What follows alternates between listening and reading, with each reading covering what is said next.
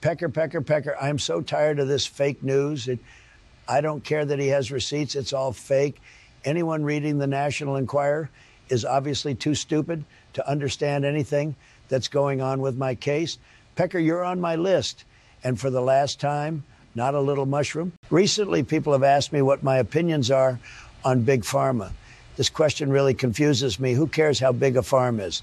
I mean, whether it's a potato farm, a horse farm, could be a midget farm. Who cares how big it is? That's what capitalism is all about, right? As a young boy asleep one night, I remember my father waking me in the middle of the night. I looked up at him and said, Da, what do you want?